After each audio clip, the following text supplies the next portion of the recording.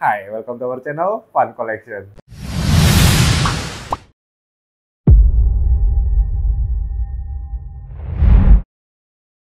Hari ini kita mau kasih raket lagi buat teman-teman semua. Tapi sebelum mulai, terima kasih banyak yang sudah subscribe, terima kasih banyak yang sudah komen, sudah input, sudah kritik ya.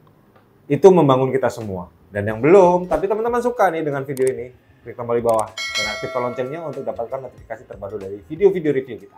Oke, teman-teman, setelah kemarin kita sudah uh, review satu buah satu buah satu seri ya teman-teman ya dari Eagle ini ada lagi series yang lain di mana memang kelasnya akan ada di bawah dari Evo yang kemarin kita review buat teman-teman. Jadi kita mau ngelengkapin kalau memang teman-teman nggak sesuai dengan Evo, ini kita ada satu lagi yang mungkin bisa sesuai dengan teman-teman. Apa itu? Nih, Acro Series teman-teman. Nah, ada lima nih teman-teman ya. Acro Series juga terbagi seperti yang kemarin.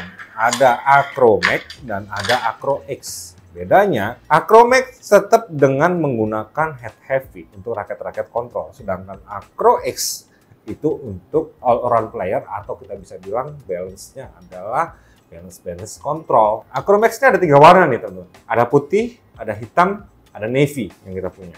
Oke. Nah, sedangkan untuk yang Acro X ya, Acro X ini kita punya dua warna. Yang satu adalah hitam kuning ya, yang satu adalah cream orange. Kita langsung review dua ya. Kita akan ambil sampelnya masing-masing satu dan kita akan bandingin.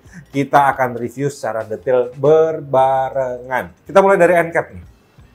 End cap-nya memang didasari sama dengan yang Evo ya. Dasarnya merah, ya. kemudian logo eagle-nya warna silver. Tapi kalau teman-teman lihat, teman-teman perhatikan, logo eagle-nya yang kemarin untuk Evo itu adalah logo yang berbentuk burung, ya. Sedangkan yang Acro itu sudah berbentuk huruf E-nya, teman-teman. Ya, jadi berbedanya di situ. Setelah kita lihat dari gripnya, ya, gripnya memang ini uh, sama, teman-teman dengan yang digunakan di Evo kemarin. Jadi bahannya adalah PU non woven, cukup tebal dan cukup empuk dipakai. Kalau dibilang mungkin kemarin Evo nggak cocok ya harganya ketinggian, sajikan lagi yang aku yang harganya lebih murah, tapi dapat gripnya sama nih teman-teman, empuk juga gitu ya. Ada emboss logo Eagle ya, logonya nah kalau yang di grip itu masih logo kepala burungnya ya ada logo kepala burungnya di Eagle. Dari grip kita ke kun. Nah, kun ini yang seperti biasa dia ada tertulis berat teman-teman ya. Kalau untuk Evo secara berat dia seragam sama semua. Beratnya adalah 4U ya dan pegangannya adalah G5. Jadi nggak terlalu kecil. Ya, cukup untuk ukuran tangan-tangan kita orang-orang Asia. Ada logo Eagle-nya ya teman-teman ya di sini ya dengan menggunakan bentuk kun yang konvensional ya, yang masih tipe-tipe kun biasa, tetapi sudah ada bagian yang rata di sini untuk eh, penempatan jempol. Kemudian dari kun kita mau lihat shaft. Dari shaft memang keduanya ini sama teman-teman ya. Dia tetap menggunakan flexi shaft ya, flexible shaft. Gitu. Nah, untuk yang Evo Max ya, teman-teman bisa lihat memang warnanya banyak lebih solid ya jadi banyak lebih warna-warna eh, dominannya. Sedangkan yang untuk Acro X ya ini banyak desain grafisnya gitu ya. Jadi ada banyak corak-coraknya. Kalau untuk yang ini eh, ada warna krem eh, merah ada hijau ya kan. Sedangkan yang di Acro Max itu hanya satu warna solid aja warna hitam. Sama-sama menggunakan material yang high modulus karbon grafit jadi memang raket murahnya aja dia juga sudah menggunakan high modulus karbon grafit. Untuk berat ini memang secara 4U dia ada di level 83 plus minus 3 ya.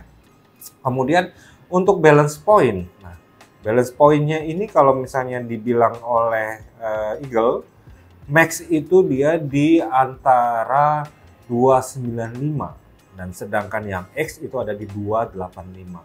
Ya, sama seperti yang Evo ya teman-teman ya. Jadi klasifikasi max itu akan masuk ke power ya walaupun dia 295 dan untuk uh, X itu dia akan masuk ke kategori kontrol atau round raket dengan balance 285 ya nah, ukuran shaftnya juga nggak terlalu kecil nggak terlalu besar juga ya jadi sedang cukup di middle ya ini sekitar 7.0 mm dan, dan kelihatannya memang rapih ya teman-teman buatannya dan oke. Okay.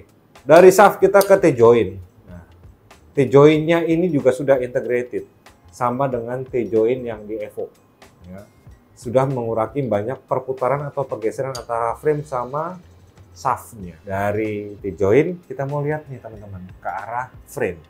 Untuk bentuk frame-nya nih ya teman-teman kalau lihat memang serupa, tapi tak sama sebetulnya teman-teman ya. Nih kita bisa lihat perbandingan frame antara Acromax dan Acro X ya. Acromax ini masih box frame banget ya. Jadi masih setengah frame-nya ini masih box. Nah, sedangkan yang di Acro X ya teman-teman, ini memang kelihatan box teman-teman ya, separuhnya ini. Tapi di bagian bawah frame ini teman-teman bisa lihat ada curve-nya lagi. Secara bentuk dan tampilan memang Acromax akan lebih kokoh karena box frame-nya ya dan secara Evo X ini dia akan banyak ke uh, curve. Nah, ada campuran sedikit box frame-nya di sebelah sini, teman-teman. Jadi lebih banyak sudut-sudut halusnya, ya sudut-sudut melengkungnya di uh, di seri yang uh, Acro X. Di mana Acro X ini akan ada di all around atau raket-raket kontrol ya. Jadi diberikan uh, banyak sudut sehingga frame-nya ini nanti akan lebih stiff.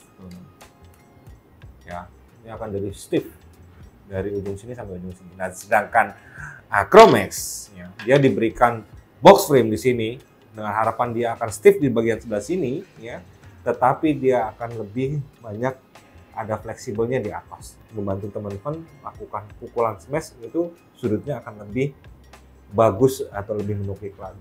Dengan menggunakan sama-sama 72 grommet Tambahan juga ada teknologi isometrik teman-teman di bagian uh, atas headframe-nya. Jadi sweet spot-nya akan lebih besar. Jadi tempat raket atau permukaan raket atau permukaan senar yang ketemu cox itu akan lebih besar. Jadi lebih nyaman dalam permainan. Untuk frame dia sama-sama kuat ditarik sampai 30 lbs. 26 lbs sampai 30 lbs itu adalah range spesifikasi tarikan yang direkomendasikan oleh Eagle. Teman-teman jangan ke mana-mana. Habis ini saya ngajak teman-teman untuk ukur aktual dari berat, swing weight, dan balance point-nya. Chromax-nya ini kita akan ambil satu nih, teman-teman yang warna hitam putih ini ya, uh, untuk kita ukur. Oke, kita timbang ya beratnya ya. Oke, 4U-nya oke, 81,5 gram. Berapa swing weight-nya? Yuk kita cek.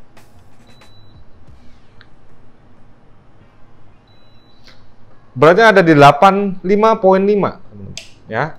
Jadi lihat dari selisihnya memang uh, cukup jauh ya teman-teman antara berat sama swing weight-nya ya. Jadi nanti kita akan bisa lihat bahwa memang Oke, okay, uh, uh, klasifikasi dari Acromax ini akan masuk ke raket-raket power, ya. Nah, balance point-nya ada di 301, teman-teman, ya. Jadi memang dia head heavy. Uh, apalagi nanti ditambah dengan senar, ya mungkin akan ke 305 gitu ya. Dan memang head heavy-nya dapat ya untuk Acro Max yang kita bahas hari ini. Oke, itu Acro Max ya.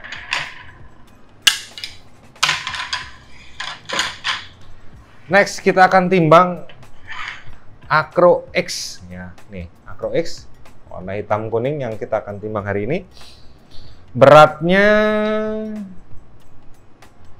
beratnya 80.9. Oke ya, teman-teman ya. Batas bawah dari 4U-nya ya. Kita cek untuk swing weight.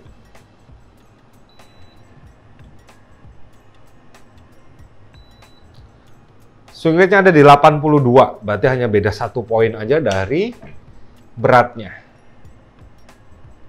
Kita cek untuk balance point.